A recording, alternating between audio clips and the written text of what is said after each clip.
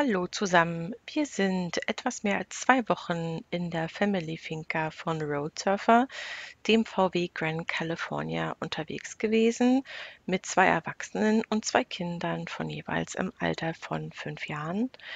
Und ich habe einmal kurz nach Entgegennehmen des Autos als auch kurz vor Abgabe des Autos meine Erfahrungen und Eindrücke geschildert. Und wenn ihr interessiert seid, wie es denn zugegangen ist, dann bleibt einfach dran. So, ich habe das Auto geparkt. Es ging einigermaßen, aber ich musste ganz schön rödeln, weil wir hier so in der Seitenstraße sind. Und ich schaue mich jetzt hier gerade um. Hier sind die USB-Anschlüsse. Hier hat uns Roadsurfer einen Beutel gegeben den schaue ich mir gleich mal an. Und hier ist noch ein paar Tipps. Okay, können wir uns noch durchlesen. Und, ah ja, ein Tee und eine Zeitschrift und Autan ist immer gut. Was sind wir hier noch drin?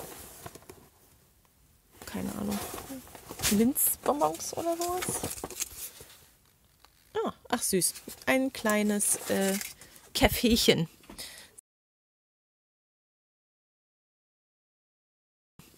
So, der Kühlschrank ist während der Fahrt aufgegangen. Aber kein Wunder, wenn hier ein Mikrofasertuch ist. Den mache ich nämlich auch gleich mal an. Hier sind die Lichtschalter. Hier oben ist die Belüftung. Dann haben wir hier den Rausfahrschutz, den haben sie uns zur Verfügung gestellt. Und äh, was gibt es hier noch alles? Hier ist noch ein kleiner Teppich, ganz süß. Ja, ich werde noch meinen äh, Fußabtreter mitnehmen, damit wir nicht so viel Dreck hier reinnehmen. Der Tisch ist nicht montiert, ist aber auch definitiv notwendig, damit wir sicher fahren können. Aber den brauchen wir tatsächlich nachher. Und dann muss ich jetzt hier nämlich das Isofix suchen.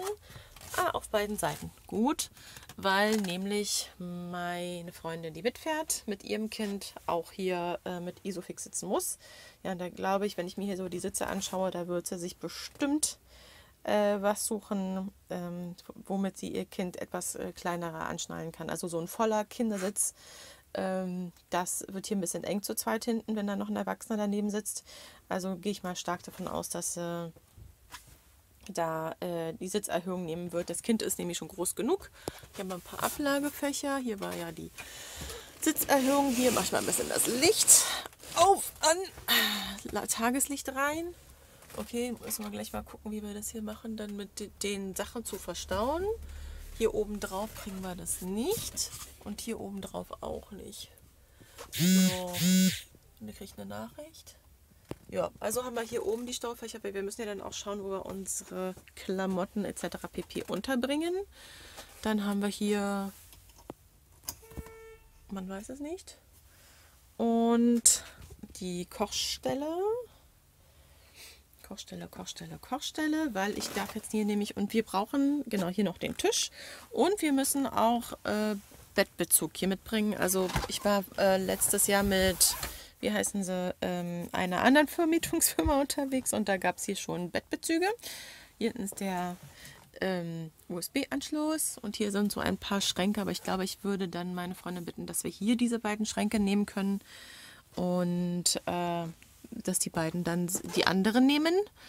Dann, was haben wir hier noch Schönes? Wir haben einen Fahrradträger hinten drauf, aber eigentlich hätten sie meinetwegen den auch gerne demontiert lassen können. Die Küchenbox hole ich gleich aus der Heckgarage. Aber hier mache ich erstmal nämlich noch das Wasser zu, weil Wasser- und Abwassertank, so hat mir der Kollege das erzählt, nämlich offen übergeben werden. Einfach um das wahrscheinlich ein bisschen zu belüften. Und dann werde ich das dann gleich zudrehen. 100% zu. Ja. Ich glaube, damit ist das dann erledigt. Ich glaube, das könnte dann der Frischwassertank sein. So, dann machen wir hier wieder zu. Ähm, und dann haben wir hier noch diese beiden Schalter zum Zumachen im Bus. Auch gut. Hier oben lasse ich auch noch ein bisschen mehr Licht rein. Das ist gut. Ja, und hier mal noch eine Kleiderstange und ein süßes, schnuggeliges Bad. Das gucken wir uns gleich auch mal an. Licht geht an. Und dann haben wir hier oben eine Luke Zoo Bio ist gut, habe ich auch besorgt, aber schön, dass sie das auch mit dazugeben. Und dann haben wir hier das Waschbecken, den Duschkopf zum Duschen hier, das einzuhaken. Ja, eigentlich wollte ich ja lieber den Knaus, aber den gab es nicht mehr. Aber immerhin äh, muss man dann hier nicht mit dem Klappen und ich weiß nicht was alles machen. Und hallo. Gucken wir mal hier rein. Es wird nicht geraucht, ist klar. Hier haben wir einen Hebel.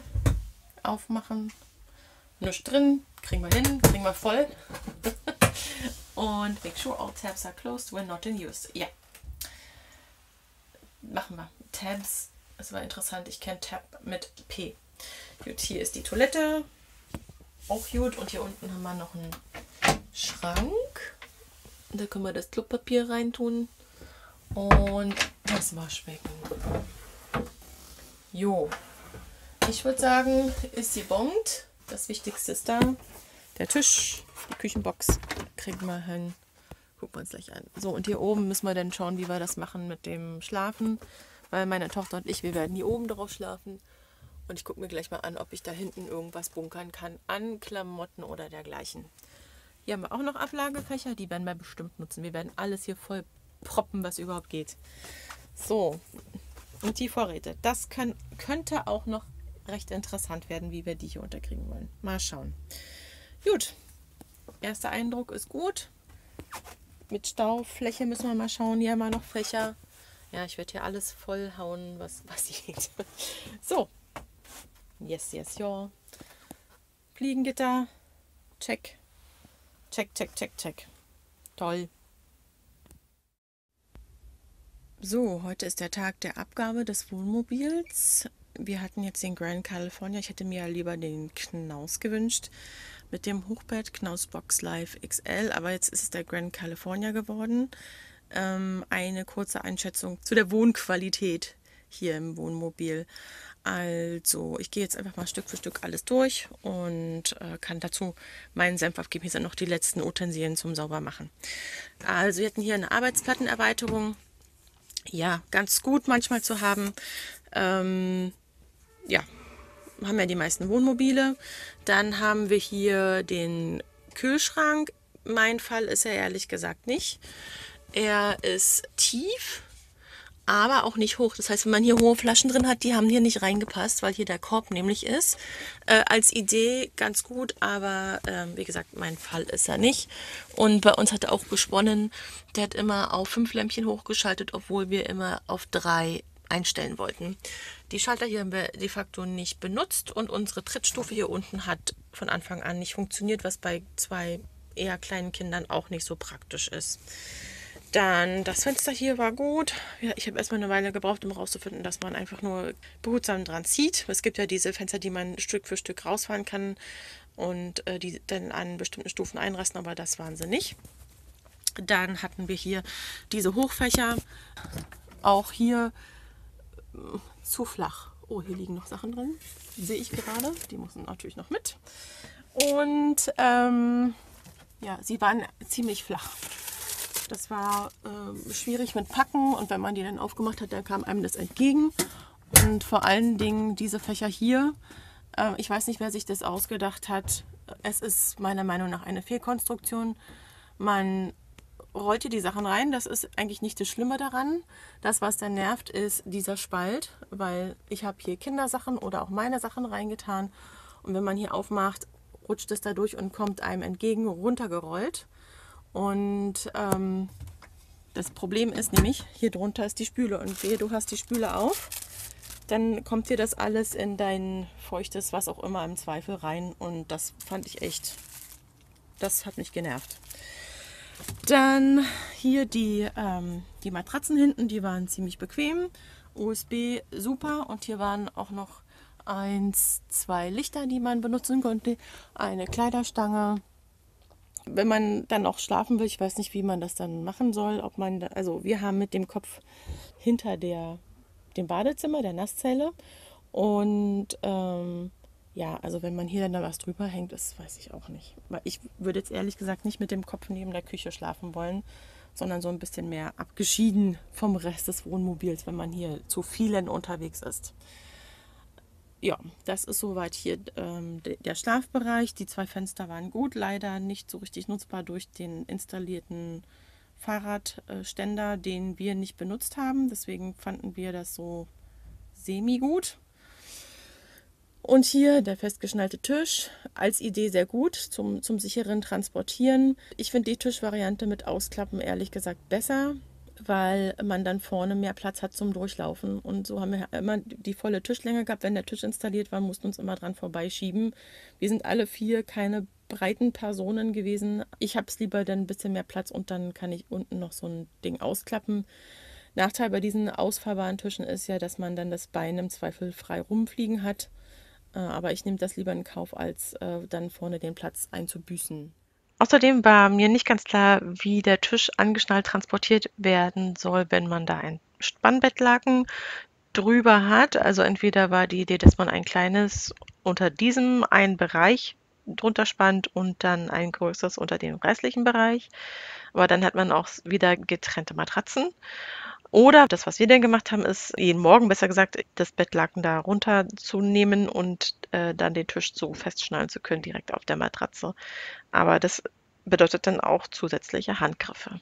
Hm. Das war also der hintere Bereich. Die, hier ist noch die äh, Markisenstange äh, zu sehen, die hier sehr clever verstaut war. Das fand ich gut. Dann gehen wir ins Bad. Mich hat gestört, dass ich nicht einschalten konnte, ob das Bad automatisch angeht oder nicht. Es ist hier so ein Bewegungsmelder drin. Das ausklappbare Waschbecken, ja, war gut. Die Brause nicht ganz mein Fall. Die, die Fläche hat sehr aus und ähm, wenn ich nur mal schnell so von, vom Zähneputzen mir Wasser für den Mund reinschaufeln will, war das ein bisschen schwierig. Und äh, Fehlkonstruktion für mich ist die, die Mischbatterie neben dem eigentlichen Waschbecken zu installieren, weil wenn du dir die Hände waschst und du hast tropfende Hände und willst dann hier zumachen, dir tropft alles runter. War jetzt also nicht so dolle. Ähm, hier gut war der umklappbare Spiegel, das fand ich eine schöne Idee mit dahinter noch Staufächern. Das war gut. Was ich hier ein bisschen schade finde, hier ist noch Platz. Das hätte eine Ablagefläche sein können. Dachluke war okay, nicht mein Ding. Ich mag es lieber eher auch an der Seite mit, mit der Luke oder mit dem Fenster, aber äh, Hauptsache da ist was, was man aufmachen kann, also ähm, check. Und hier vier Haken waren auch gut. Wenn man aber hier dann lange Handtücher zu hängen hat, dann hat man die dann im Zweifel im Gesicht, wenn man auf der Toilette sitzt. Aber ja, das war jetzt nicht so wild. Ähm, hier, oh, hier ist noch eine Klorolle, auch nicht wild.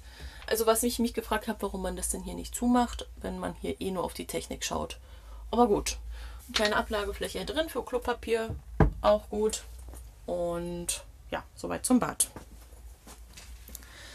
Was mich, also am Anfang äh, übrigens noch hier zu der Tür, hier ist so eine Kante. Also da haben sich die Kids am Anfang dran gestoßen. Äh, ist also potenzielle Gefahrenquelle für Unfälle. Die Küche. Ähm, ich habe mich gefragt, warum hier drüber kein Verstauraum angebracht wurde. Andere Küchen haben hier drüber noch Staufläche, auch wenn da drunter der Gaskocher ist. Und ich habe es auch ehrlich gesagt vermisst. Wir hatten die Töpfe in einer extra Kiste und mussten immer hin und her räumen, hinten aus dem Wohnmobil raus und rein. Und das hat auch genervt. Hier ist eine sehr flache Schublade, da hat auch nicht viel reingepasst, aber gut, ein paar Utensilien schon.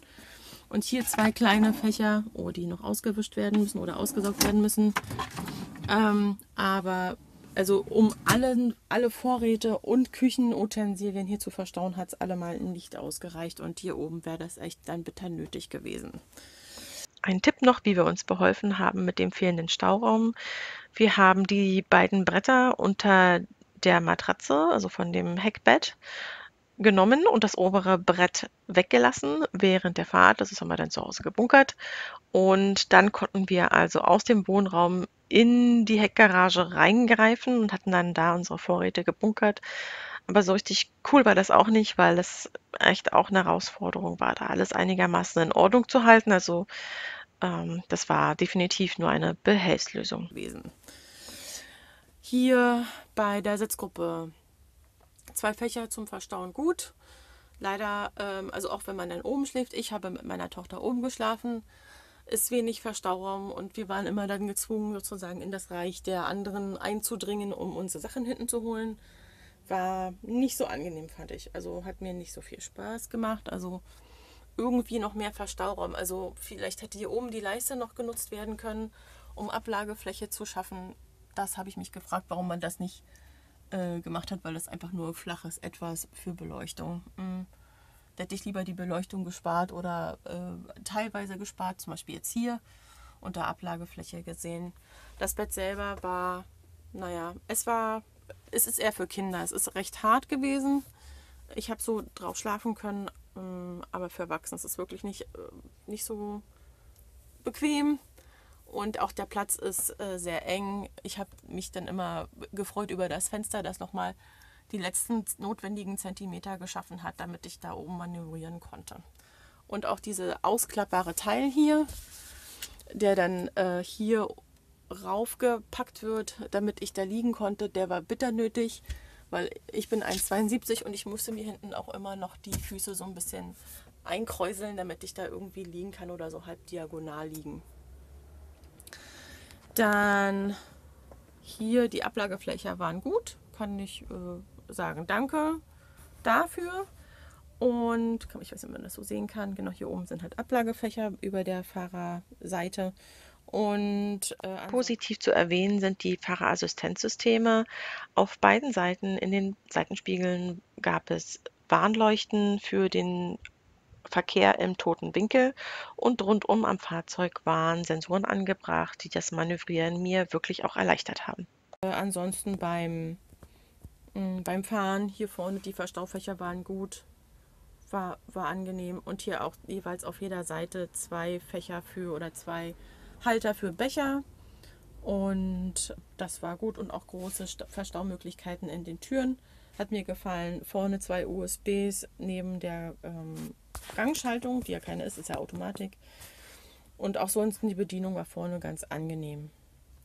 Der Bordcomputer hat Spaß gemacht in der Bedienung. Wir haben uns jederzeit gut informiert gefühlt über den Status aller Systeme. Abschließend ist zu sagen, dass das Fahrgefühl im Auto selbst gut war. Er hat Gas gegeben, wenn er sollte und gebremst und auch das Manövrieren war wirklich relativ einfach, trotz der Größe. Das Manko für mich allerdings hier war im ganzen Wohnmobil der fehlende Stauraum, der uns wirklich in den zwei Wochen gefehlt hat und einiges an Räumarbeiten und Zeit dadurch gekostet hat.